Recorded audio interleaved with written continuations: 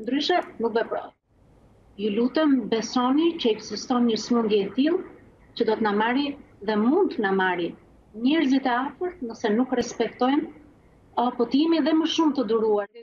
Në fakt, kjo ka qenë një thirrje e vazhdueshme e Komitetit të Ekspertëve, por sa dëgjohet realisht, së fundmi rezulton se ky vendim po shkelet në masë nga ligjvënësit aktual si dhe kandidatët e mundshëm për të qeverisur. Fushata elektorale po gëlon në ambientet e lokaleve të dasmave aty ku shumë çifte nuk patën mundësi të kurorëzojnë martesën.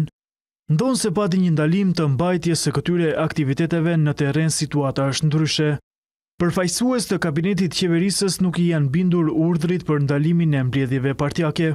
krijojnë të jenë të ndaluara, grumbullimet me mbi dhjetë persona në vende të hapura dhe të mbyllura, si dhe mbledhjet partiake, tubimet, konferencat, Thirrjes së saj nuk i shpëtoi dot as vetë zëvendës ministrja Rakacolli e cila u fotografua në një mbledhje elektorale.